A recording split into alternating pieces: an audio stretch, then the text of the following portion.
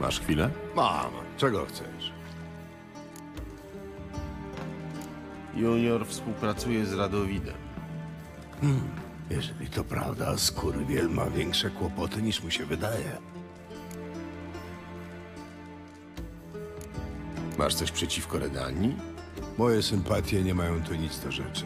Skurwiel złamał układ i jest to zdrada, niezależnie z kim teraz trzyma. Potrzebuję kogoś, kto zabierze mnie do Juniora. Na pewno masz jakieś stare kontakty w Redanii. Nie mam, ale ty masz. Oświeć mnie. Temerczyk. Był dowódca osławionych niebieskich pasów, kojarzysz? Vernon Ross.